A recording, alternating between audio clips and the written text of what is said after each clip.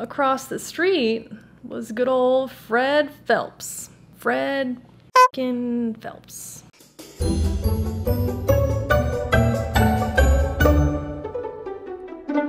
Hi guys, welcome back to another episode of Crew Time. Crew, crew time. It's crew time.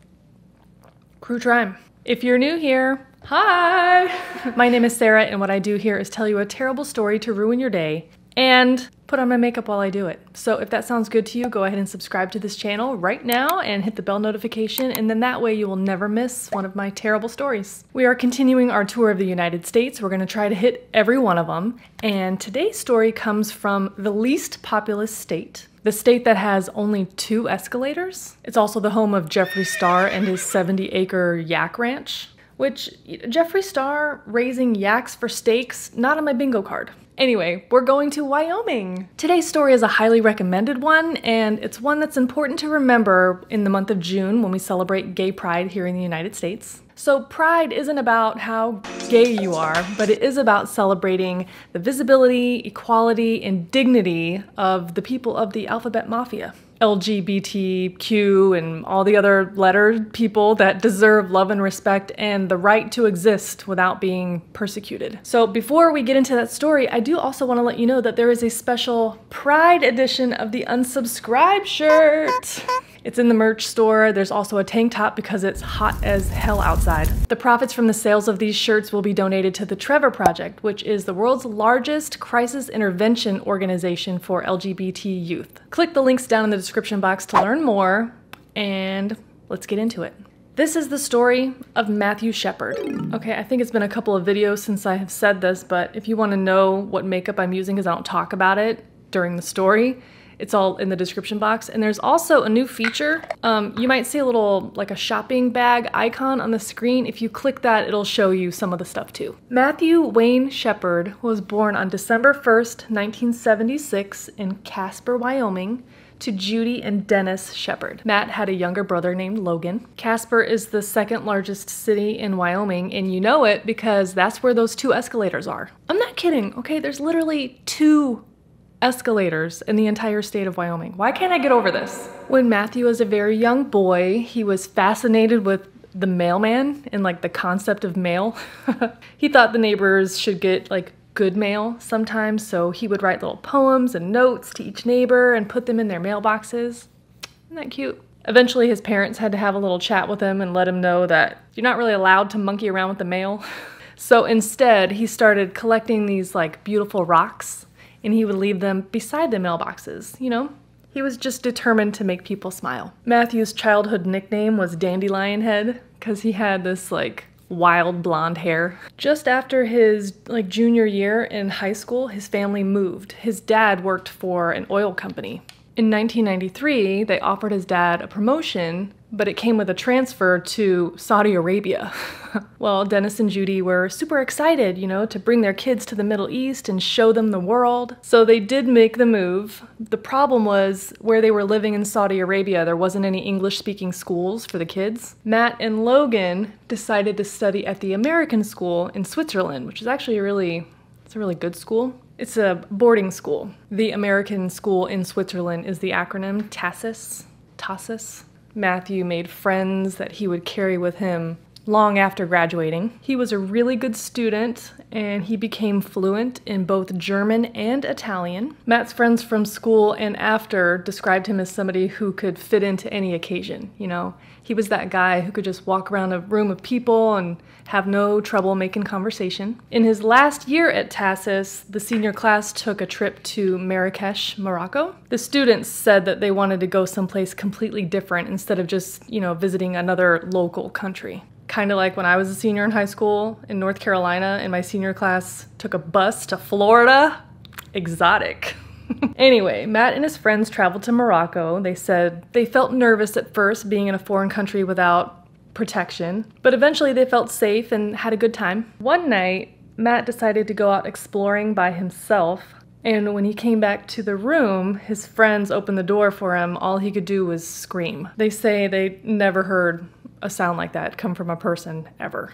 Matt had been attacked. He was grabbed by a group of six men, dragged into an alley, and then they all took turns raping him. He did make a report of this assault to the police, but I suppose there was just not much they could do, you know. So Matthew's mom later said that after that attack, he was just never quite the same. He had panic attacks, he was hyper vigilant, um, he suffered from nightmares. I think Murray's getting in the litter box. Can you hear it? Can you see it? So Matthew was never comfortable in crowds again, which is understandable, you know. He started suffering from severe depression and started using drugs and alcohol and was having suicidal ideations. After his graduation from the high school in Switzerland, Matt came back to the United States. His parents and brother stayed behind in Saudi Arabia, but he did visit, you know, from time to time. In the fall semester of 1995, Matt started taking classes at Catawba College in Salisbury, North Carolina. Unfortunately, you know, the next semester he dropped his classes and he ended up going into inpatient treatment in Raleigh, North Carolina for depression. Well, after Matthew completed the treatment, he was just sort of drifting. You know, he moved back to Wyoming and he enrolled at Casper Community College. In 1997, he moved to Denver, Colorado for a brief time. Again, you know, he's just kind of drifting and trying to figure stuff out, you know. While he was in Denver, he did make a friend, an openly gay woman. This woman was very inspirational to him. You know, she was living her life loud and proud, and Matthew was hopeful that maybe he could do that one day. At age 20 ish, Matthew officially came out to his family. They knew, of course, Matthew's family was very supportive and they let him know that they loved him now as much as they ever did. By 1998, he moved back to Wyoming, this time to Laramie, which is a smaller city, um, smaller than where he grew up. It's about two and a half hours south of Casper. Laramie is where the University of Wyoming is, so it's probably like the most progressive area of the state, being a college town. At this time, Matthew enrolled at UW as a political science major and eventually joined several groups at the school school. He was even chosen as the student representative for the Wyoming Environmental Council. Matthew became very active in the LGBT Alliance and suggested that they set up a mentoring program. His idea, which they still use to this day, was to have a more senior person in the alliance be a mentor to or sponsor to new kids at school. Kids. These are like young adults the point was to, you know, show them around and just let them know they're not alone. On October 6th of 1998, the 21 year old Matthew attended a meeting with the LGBTA to discuss events for Coming Out Day, which was scheduled for October 11th. Okay, so Matthew and friends decided after the meeting to go to the Fireside Lounge in Laramie, which was a gay friendly bar just a week before this, Matt had told his friend Walter Boulden that he felt safe in Laramie, you know, that he could finally relax. Walter would also later say that Matt wasn't somebody who would just like make a pass at a random man in a bar, you know? Yes, Matthew was involved, of course, with LGBT issues at school, but he was still making his way out in public places. So, as the evening went on, Matt's friends called it a night and they left, but Matthew stayed behind because he wanted to enjoy a second drink. Then, two men around the same age as Matthew approached Aaron McKinney and Russell Henderson. Russell Henderson was born and raised in Laramie. Russell's home life was not very good in the beginning. His parents fought a lot and eventually they divorced, so he went to go live with his grandma. He actually was a really good student, you know, he did well, and he spent a lot of time in church, and he even was involved in Boy Scouts, becoming an Eagle Scout, which is a big deal. He had a lot of friends, and he seemed to thrive under his grandma's care. But when he turned 17, something switched. You know, it was a senior year of high school he started skipping classes, he wasn't doing any of his homework, and he wasn't able to graduate on time. He also started smoking marijuana and then doing harder street drugs, you know. And that is how he met Aaron McKinney. Aaron was his drug dealer. So, Aaron McKinney's story is somewhat close to that of Russell's. Um, he was also born and raised in Laramie. His parents had a terrible marriage. It was violent and volatile, but Aaron's parents were affluent. You know, they had money. His parents eventually divorced when he was about nine years old, And then his mom remarried when he was around 13 and they moved to like the Richie Rich side of town. In 1993, Aaron's mom was undergoing a routine surgery, but she died on the table, completely unexpected. Because of this, Aaron received a $100,000 uh, insurance payout from medical malpractice, but he didn't do anything useful with it. He bought a car, but the rest of it was just sort of like spent on drugs. It was at this time that he also started selling drugs and earned the nickname Dopey. Okay, so back to the bar. These two guys have just approached Matt. So, the bartender at the Fireside Lounge from that night, Matthew Galloway, he testified later that Aaron and Russell were not drunk or out of their minds on drugs. It's something that he watches out for as a bartender, so he can be responsible in serving people. He also said that Aaron and Russell approached Matt, and then shortly after, the three of them left together. Well, these two shitheads had hatched a plan to rob Matt of his wallet and any money that he had. They said they knew that he'd have money because he was dressed nicely and they could tell that he was gay. I don't know how that means that you're gonna have money, but okay. Well, these two put on their best, like, gay act and they chatted up Matthew and offered him a ride home. Once they had Matthew in Aaron's truck, they started beating him. Russell also had a 357 Magnum with him um, that he later claimed they were just trying to sell that night. Aaron, as a convicted felon, didn't want to get caught with a gun. What he didn't tell police was that, you know, somebody had used that gun as payment for drugs about a month ago. Okay, so in the truck, they tell Matt that they're lying, you know, they're not gay, and they're gonna jack him up. Matt gave up his wallet very quickly and offered whatever money he had back at his apartment so long as they wouldn't hurt him. Well, continue to hurt him. So Russell drove them out past the expensive Sherman Hill Estates, and they ended up in a mostly empty field. They took Matt out of the truck, and then Aaron hit him in the head over and over and over with the butt of the gun and his fists. Then, with rope from the back of the truck, Russell tied Matt's hands together behind him, and then they tied him to the post of a buck fence. Once Aaron was done beating him, they stole his shoes and left him there, tied to the fence in the freezing cold night. So Aaron and Russell then went back to town. Aaron said that they, they were trying to sell that gun. Russell said that they were looking for Matt's apartment to rob. Either way, what they found was trouble. So they went to the area of Matt's apartment and they saw two other shitheads going up and down the street slashing people's tires. Well, they didn't like that and they confronted them and then they started fighting and then the next thing you know, somebody's called the police to report a disturbance. Side note, this story, it just makes it sound like Laramie is a dangerous place and it just isn't.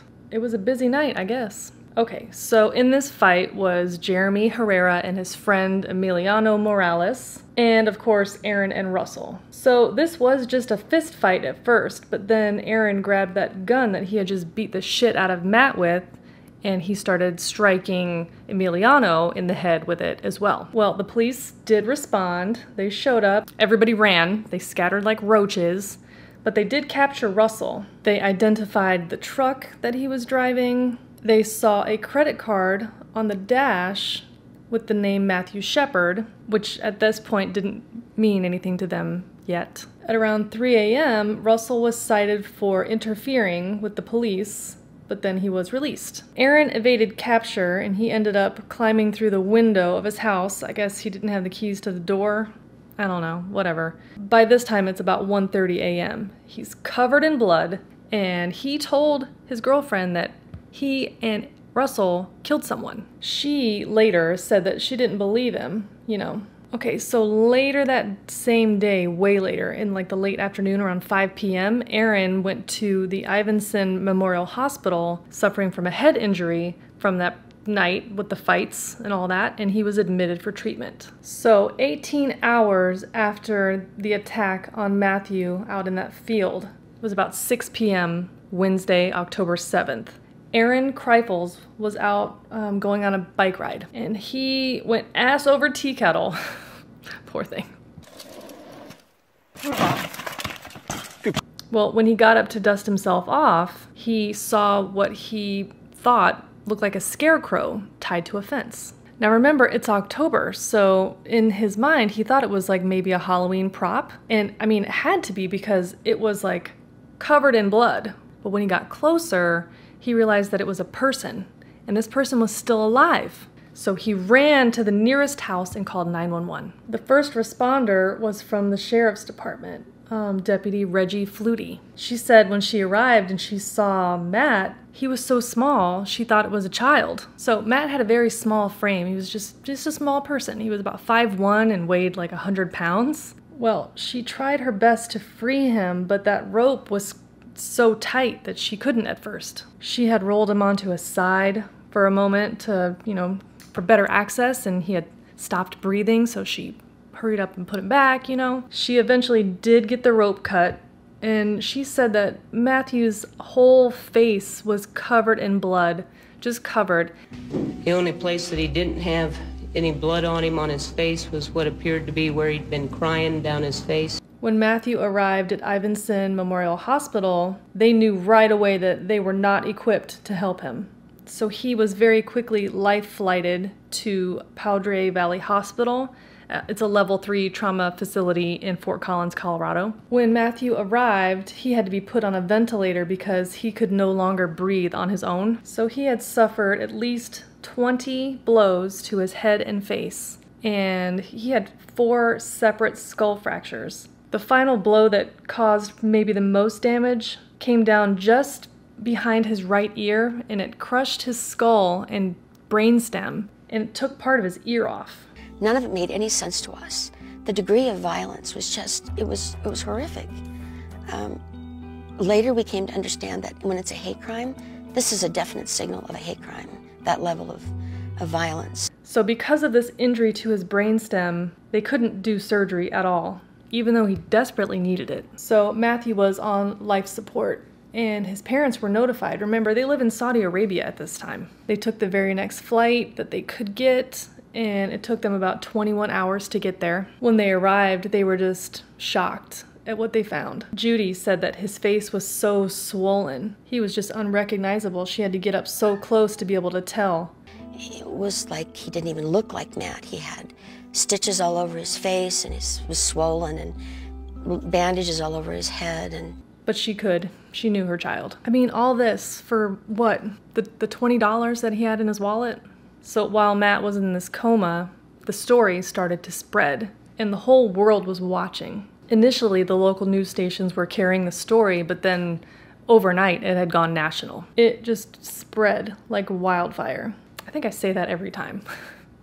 It's true. There were candlelight vigils held in cities all around the world, and there was even one held in front of the White House. Well, because of all that ruckus with the uh, the street fight and all that stuff, it did not take police long at all to like put the pieces together, you know. And pretty quickly, by Thursday, October eighth, Russell, Aaron, and their girlfriends were all arrested. The girlfriends were arrested because they were trying to give false alibis for both of the men. Well, they also said that they didn't really know much about the actual crime, but they did know where some evidence was. Well, with that information, the sheriffs were able to get a search warrant for Aaron and Kristen's house. And in that search, they recovered Matthew's wallet, his driver's license, and Aaron's bloody clothes, bloody with Matthew's blood. Remember, Aaron was in the hospital for those head injuries, but once he was released, he was arrested, of course, and confessed.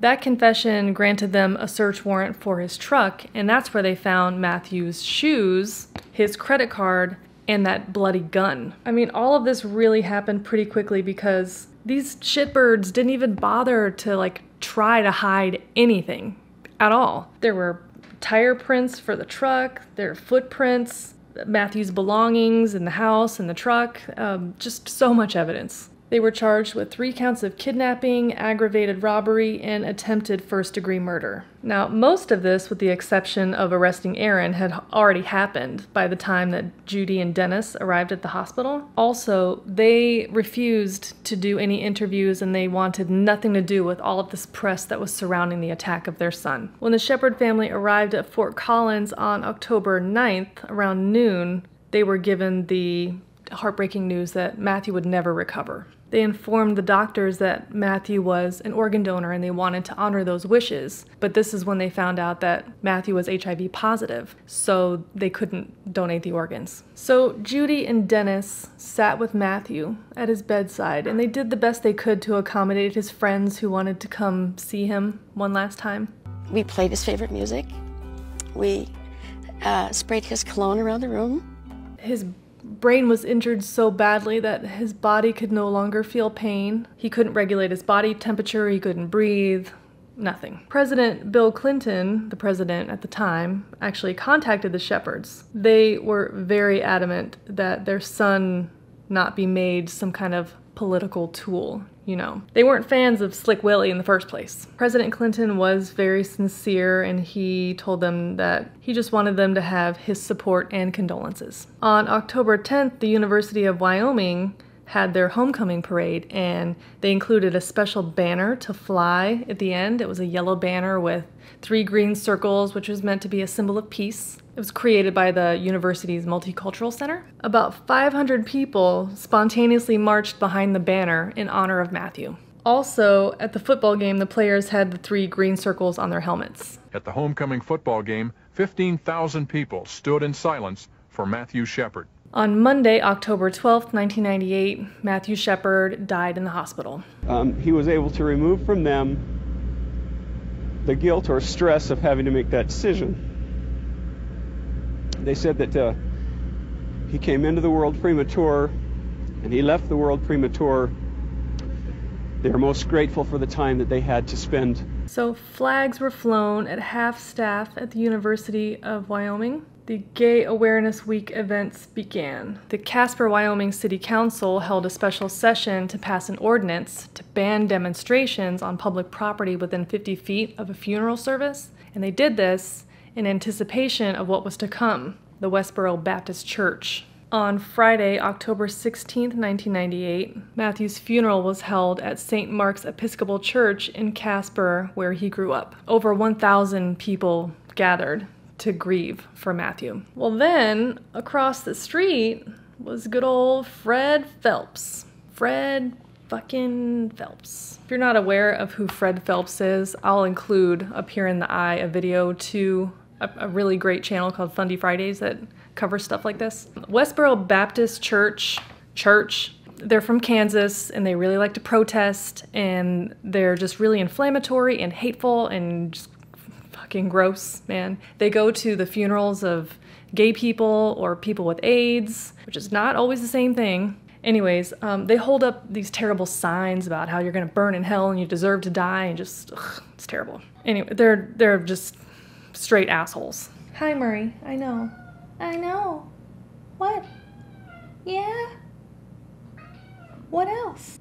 Murray has something to say. The two men were looking at either life without parole or the death penalty. You know, those are the only options. Okay, so very early on, Russell Henderson took a plea deal. Well, I guess Russell didn't want to take his chances, so he pled out. He pled guilty to first degree felony murder and was sentenced to two life sentences uh, with no possibility of parole. When Aaron McKinney's trial started, those Westboro Baptist clowns returned. Well, the people of Laramie were not having it. So, a group of citizens from Laramie actually dressed up in like these angel costumes, white outfits, right? And they circled around the protesters, and when they raised their arms, like the wings it looked like wings, it would kind of block them out and their hateful signs. So, Aaron McKinney had been charged with first degree felony murder, second degree murder, aggravated robbery, and kidnapping. And this piece of shit when he was in jail was like bragging about what he had done. But you know, as soon as that death penalty came knocking, he tucked tail and started conjuring up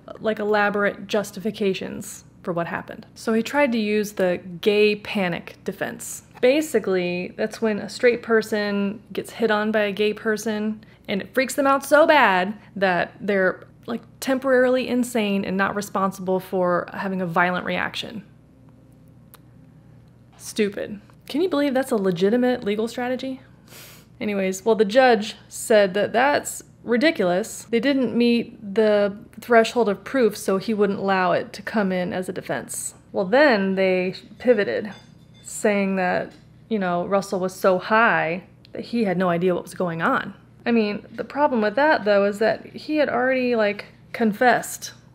And his confession matched Aaron's confession. The confession being that they targeted Matthew because he was gay and they thought he was going to be an easy mark, you know? Aaron McKinney was found guilty and he got the same sentence as the other asswipe two life sentences without parole to be served consecutively. At the sentencing, Dennis Shepard said in his victim impact statement, quote, I would like nothing better than to see you die, Mr. McKinney, but now is the time to heal. Every time you wake up in your cell, remember that you had the opportunity or the ability to stop your actions that night. I do not like these lashes, but this is where we are. The two girlfriends, remember, they were involved because their liar liar pants is on fire. Pantses? Anyway, Chastity Pasley, Russell Henderson's girlfriend, was found guilty of accessory after the fact to first degree murder, and she was sentenced to 15 months um, to two years in prison. Good shithead. Kristen Price, Aaron McKinney's girlfriend, cooperated with police and helped the prosecution, so her charges were lowered to only a misdemeanor for interfering with a police officer, and she pled guilty to that. She was sentenced to 180 days, but much of it was suspended since she cooperated with the state's case. For many years after their son's brutal murder, Dennis and Judy worked on passing legislation concerning hate crimes. Up until this point, the hate crimes legislation didn't cover gay people. My neighbor is sawing something, it sounds like. Fucking great. Dennis and Judy started the Matthew Shepard Foundation, which, according to their website, the foundation's mission is to amplify the story of Matthew Shepard to inspire individuals, organizations, and communities to embrace the dignity and equality of all people. On October 28, 2009, President Barack Obama signed into law the Matthew Shepard James Byrd Jr. Hate Crimes Prevention Act. The law extends to crimes motivated by actual or perceived race, color, religion, national origin, disability, gender, or sexual orientation. So, in addition to an actual criminal act, the motivation is a separate and additional crime. Because no one in America should ever be afraid to walk down the street holding the hands of the person they love. Now, at root, this isn't just about our laws, this is about who we are as a people.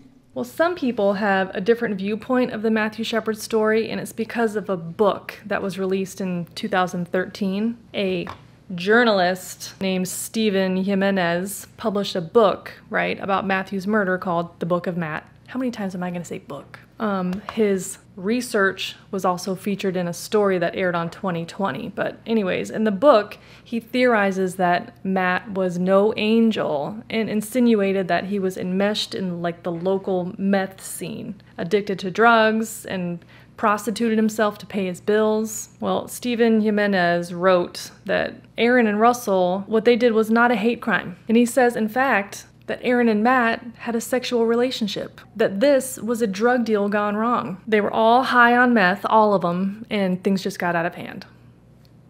Rob DeBree, the lead investigator on the case, commented that the book contained many factual errors, lies, and the idea that Matthew Shepard was some kind of methamphetamine kingpin was laughable. There was a gag order on this case for many years, so a lot of time went by before any investigators or law enforcement people were able to speak publicly about it. The general consensus is that Aaron and Russell were looking for somebody to rob, and the confrontation escalated to murder because of their latent homophobia and hate. In other words, they viewed Matthew as an easy target and definitely intended to rob him, but if he hadn't been gay, they wouldn't have killed him. Now, while some people still believe the bullshit theory, it was proven wrong by the killers themselves in their original interrogations, and then later in an interview with Elizabeth Vargas from 2020, they were very consistent saying that they didn't know Matthew, they didn't have drugs to sell them. And at this point, they're in prison for the rest of their lives. So like what what reason do they have to lie? If it was about the drugs,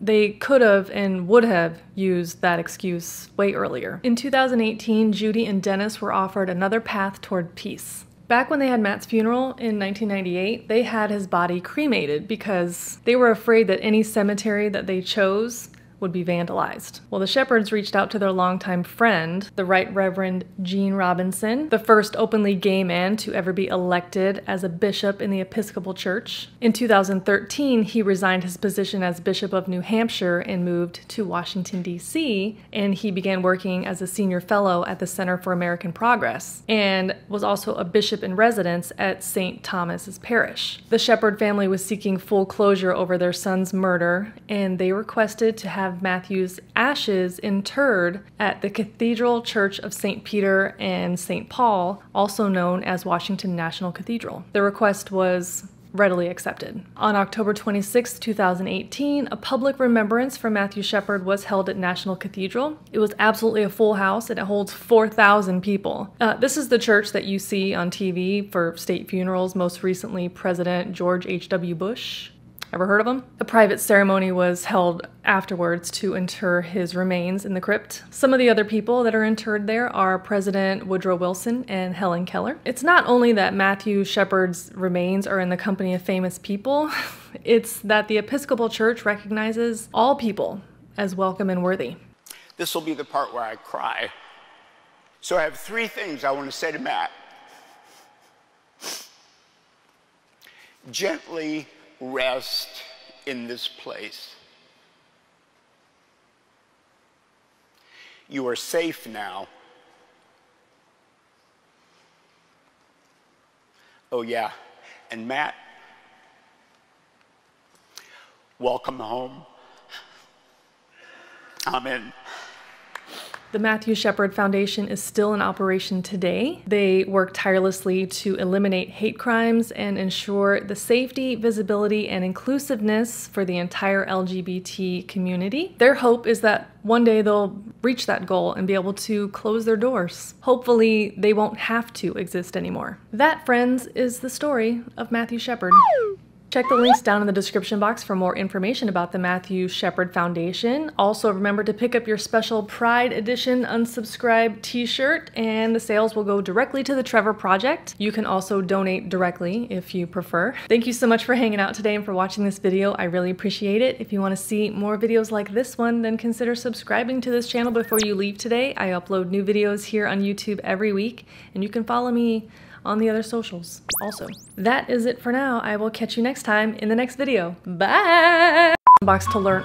Fuck. Hello? Bishop in the Episcopal Church. Why can't I say Episcopal? Somebody is doing construction right now. How dare they? Slash is fucking whack, man. You probably can't even hear what I'm hearing, but sounds terrible. what am I doing? What am I doing? In two thigh. These lashes are kind of whack, man. Wiggity whack. Ow. Ow. Trevor Pro-